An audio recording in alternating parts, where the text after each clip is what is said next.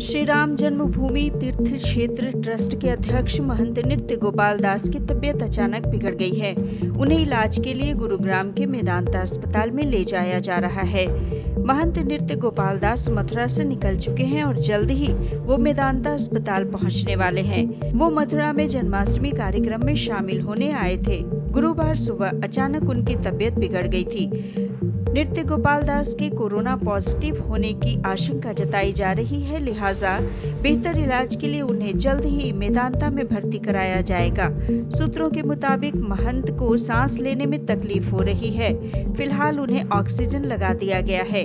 डॉक्टरों की टीम लगातार उनके स्वास्थ्य पर नज़र रख रही है। बताया जा रहा है कि अभी उनकी कोरोना रिपोर्ट नहीं आई है। जाँच रिपोर्ट आने के बाद ही इसकी पुष्टि होगी। महंत नृत्य गोपाल दास राम जन्मभूमि पूजन कार्यक्रम में प्रधानमंत्री नरेंद्र मोदी के साथ मंच पर थे। श्री राम जन्मभूमि तीर्थ क्षेत्र ट्रस्ट के अध्यक्ष महंत नृत्य गोपाल दास, श्री कृष्ण जन्मभूमि न्यास के अध्यक्ष भी हैं। जन्माष्टमी के मौके पर वो बुधवार रात कार्यक्रम में शामिल हुए थे। गोपाल दास हर साल इस समारोह में शामिल होते हैं। इस बार वह बाल गोपाल के अभिषेक के लिए अयोध्या से पवित्र सरयू जल भी लाए थे।